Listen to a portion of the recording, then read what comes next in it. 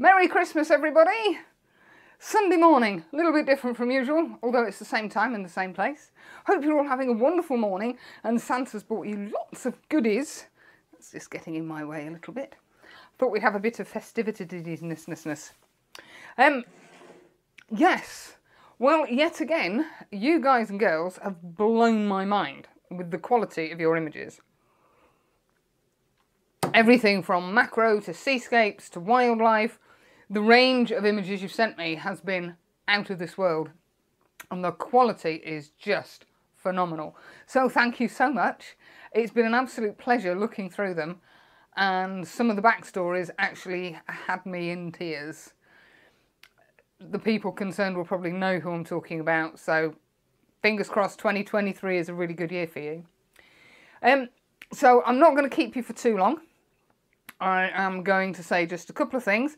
First of all, to those of you who have bought my book, that one, the packages have now all arrived and the post office has finally managed to deliver the rest of them. So they are packaged up and ready to go out. I'm just waiting to finalise the costs on the ones that are going to Canada and Australia.